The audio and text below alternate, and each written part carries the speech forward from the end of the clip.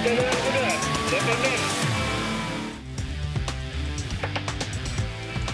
masih menyaksikan Sergap, pemirsa dua kelompok remaja di Medan, Sumatera Utara terlibat tawuran. Seorang warga luka terkena lemparan batu.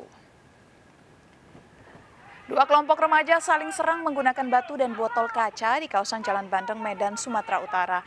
Para pelaku bahkan nekat menggunakan senjata tajam.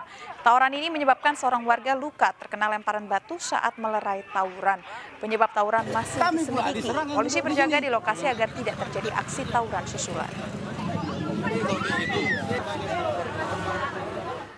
Pemirsa Kolonel Prianto, penabrak dan pembuang pasangan kekasih korban tabrakan nagrek, menjalani pemeriksaan lanjutan di Jakarta.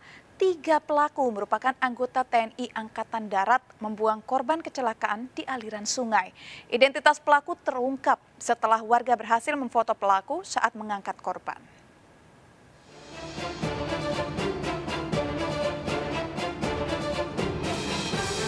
Kolonel Infantri Prianto diamankan polisi militer Kodam 13 Merdeka di Manado sejak 24 Desember lalu. Hasil penyelidikan dan penyidikan Pomdam 13 Merdeka terhadap Kolonel Prianto terbukti melakukan tindak pidana. Kolonel Prianto mengakui menabrak pasangan kekasih di Nagrek, Bandung, Jawa Barat, serta membuang korban ke sungai. Kegiatan yang kita kerjakan di sini kemarin melaksanakan penyelidikan dan penyidikan awal kasus tersebut setelah diduga adanya dugaan awal adanya tindak pidana, kemudian kita berkomunikasi dengan Puskomat dan kita kita berangkatkan Kolonel P ke Puskomat untuk melaksanakan penyidikan lanjutan. Selanjutnya tugas selanjutnya dilaksanakan oleh Puskomat. Kolonel Prianto merupakan Kasih Intel Korem 133 Nani Watabone di Gorontalo. Kolonel Prianto membuang Handi dan Salsabila ke aliran Sungai Serayu dibantu dua anggota TNI lain, Kopda Ahmad yang bertugas di Kodim Demak, Jawa Tengah, dan Kopda DA yang bertugas di Kodim Gunung Kidul, Yogyakarta. Sebelum bertugas di Gorontalo, Kolonel Prianto menjabat Itutum Idam 4 di Ponegoro yang membawahi Kodim Demak dan Gunung Kidul. Untuk dua anggota yang lainnya diamankan dan untuk diselidiki di sidik dan di ini di daerah Kodam 4 di Ponorogo. Mendapatkan informasi dan uh, dan Pomdam 13 juga mendapatkan informasi sehingga uh, dan Pomdam langsung memimpin pengaman mengamankan yang bersangkutan di Gorontalo di Korem 133 Nani Wartabone. Di rumah pak? Nah. Di kantor. Di kantor. Apa setelah penangkapan itu Kolonel Infanteri P itu sempat membantah atau dia langsung mengiyakan bahwa itu kejadian itu membenarkan bahwa setelah diamankan uh. Mayat Handi Saputra dan Salsabila kekasihnya ditemukan di Sungai Serayu, Banyumas, Jawa Tengah kurang lebih 300 km dari lokasi kecelakaan di Nagrek, Bandung, Jawa Barat. Keduanya sengaja dibuang penabraknya yang berjumlah tiga orang. Hasil otopsi tim Dokes Polda Jawa Tengah, Handi dibuang masih dalam kondisi hidup, sedangkan Salsabila tewas akibat kecelakaan. Dari luka-luka yang kita lihat, kita periksa, korban wanita tersebut sudah meninggal waktu di kejadian atau di TKP.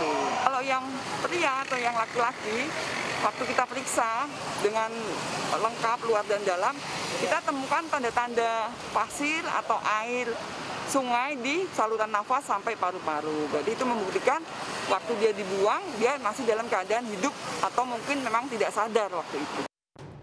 Mayat pasangan kekasih ini terpisah. Handi ditemukan warga di aliran Serayu kawasan Rawalu Banyumas, sementara Salsabila di Muara Sungai masuk wilayah Cilacap. Makam keduanya dibongkar setelah 10 hari keluarga korban mencari. Polda Jawa Barat telah menyelidiki kasus kecelakaan dan pembuangan korban oleh para pelaku. Barang bukti sepeda motor dan pakaian korban telah diamankan.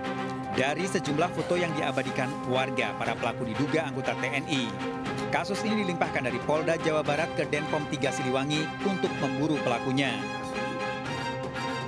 Peristiwa berawal 8 Desember saat Handi yang berboncengan sepeda motor dengan Salsabila kekasihnya ditabrak oleh mobil yang melaju dari arah berlawanan, Bandung menuju Tasikmalaya.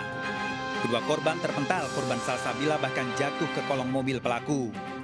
Tiga pria pengendara mobil turun dan membawa kedua korban ke mobil pelaku dengan dalih akan dibawa ke rumah sakit. Namun keluarga kehilangan jejak tidak mengetahui keberadaan korban. 11 Desember jasad Handi dan Salsabila ditemukan di aliran Sungai Serayu namun tanpa identitas. Setelah 10 hari pencarian, keluarga akhirnya memastikan kedua korban merupakan Handi dan Salsabila.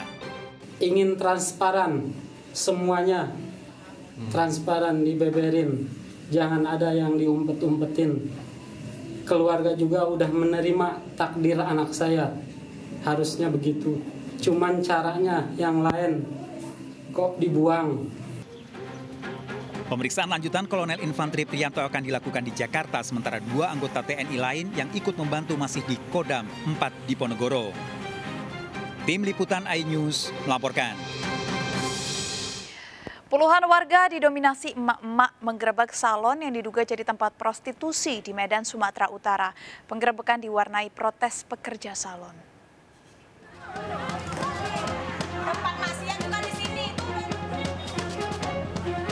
Puluhan warga menggerebek sebuah salon di Kecamatan Medan Labuhan, Sumatera Utara karena diduga menjadi tempat prostitusi.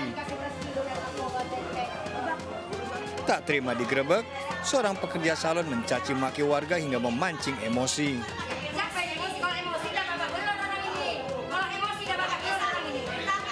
Di dalam salon milik Nora tersebut didapati lima wanita dan delapan pria bukan pasangan suami istri. Meredam keributan, polisi mendata identitas pekerja salon. Hmm. Jadi sekarang ini juga ini mau di demo lah ini ha. Harapannya kayak gimana nih? Harapannya keluarlah dari sini, jangan ada tinggal lagi. Habis musnahkan semua. Tadi di dalam ada laki-laki dan perempuan. Ada laki-laki, ada perempuan, ada. Warga mengancam akan mengusir pemilik salon jika melanggar surat perjanjian. Dari Medan, Sumatera Utara, Yuda Bahar melaporkan.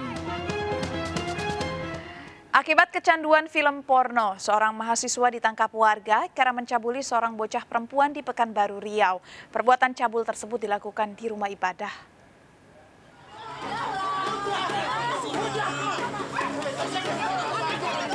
Warga Sukajadi Pekanbaru Riau dikejutkan dengan aksi pencabul yang diduga dilakukan oleh MH, seorang mahasiswa asal Sumatera Utara.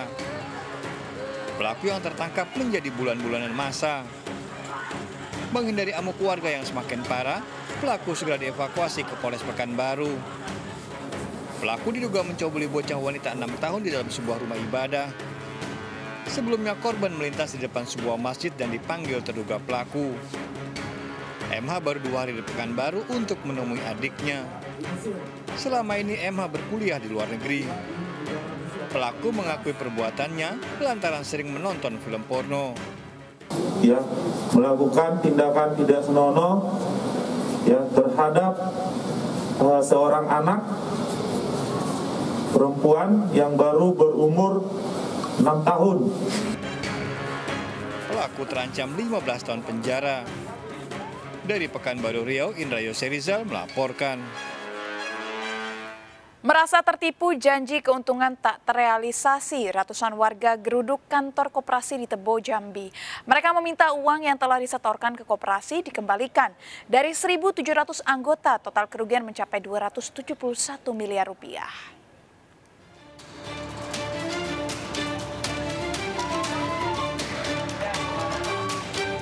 Ratusan warga menggeruduk kantor koperasi Neo Mitra Usaha di Jalan Pahlawan, Tebo, Jambi. Warga yang menjadi anggota koperasi ini menuntut uang penyertaan modal usaha koperasi bisnis sembako yang mereka setorkan mulai dari 150 hingga 2,5 miliar dikembalikan. Warga kian emosi karena hanya ditemui oleh HRD koperasi dan bukan ketua koperasi tersebut. Total uang penyertaan modal yang disetor sekitar 1.700 anggota mencapai 271 miliar rupiah. Warga merasa ditipu oleh pihak koperasi karena tidak mendapat keuntungan sesuai yang dijanjikan oleh koperasi. Salah satu korban bahkan telah menyetorkan uang setengah miliar rupiah dari jual kebun dan menggadaikan mobilnya. Total Bapak ke anu ke Neo sendiri berapa total uang yang Bapak itu sendiri kalau dihitung? Uangnya setengah M, Mas. Setengah M.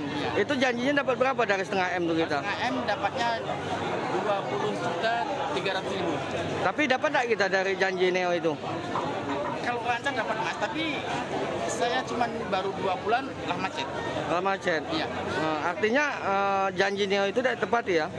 Ya, ya alasannya katanya pandemi kan gitu. Heeh. Sejumlah polisi berjaga di lokasi untuk meredam aksi warga. Rencananya warga akan kembali menduduki kantor koperasi. Dari Tebo Jambi, Budi Utomo, iNews melaporkan. Penculikan anak digagalkan warga kota Medan. Penculikan dilatar belakangi rebutan hak asuh anak setelah orang tua korban bercerai. Ikuti informasi selengkapnya sesaat lagi tetap di